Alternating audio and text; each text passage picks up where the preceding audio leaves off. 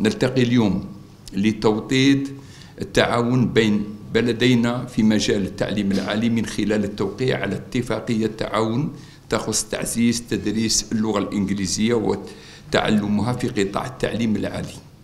وتأتي هذه الاتفاقية لتحقيق الرغبة المشتركة للطرفين في تعزيز أواصر الصداقة والشراكة والتبادل في مجال التعليم العالي بين البلدين.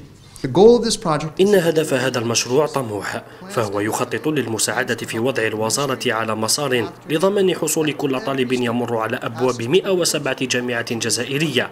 على المعرفة اللازمة للغة الإنجليزية لضمان النجاح في حياته المهنية التي اختارها. هذا البرنامج سوف يدوم ثلاث سنوات ويمول بغلاف مالي 500 ألف دولار أمريكي من قبل كتابة الدولة الأمريكية. والهدف منه يعني بصفة شاملة هو تقوية قدرات وطاقات الجامعات الجزائرية في ميدان اللغة الإنجليزية.